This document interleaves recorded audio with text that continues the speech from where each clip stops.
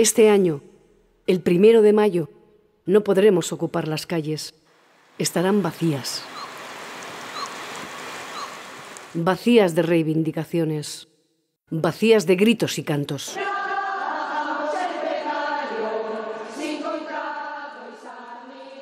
El coronavirus ha demostrado el fracaso del capitalismo, el fracaso de las medidas neoliberales,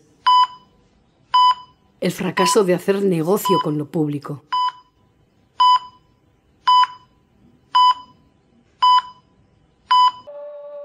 Este primero de mayo reivindicamos lo que es justo.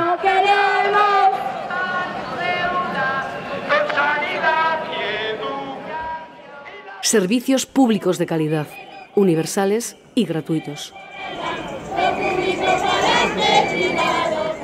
Recuperemos las empresas privatizadas.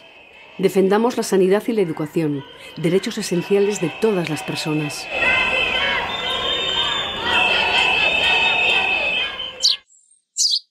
Defendamos la necesidad de conseguir la renta básica de las personas iguales.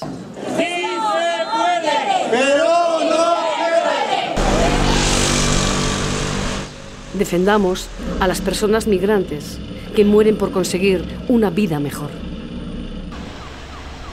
Defendamos a las personas jóvenes sin futuro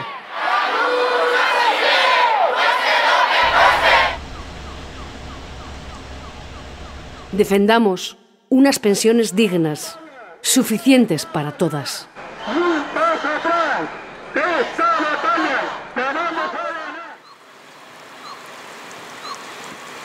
Luchemos contra la represión, represión que el Estado ejerce a través de la ley Mordaza.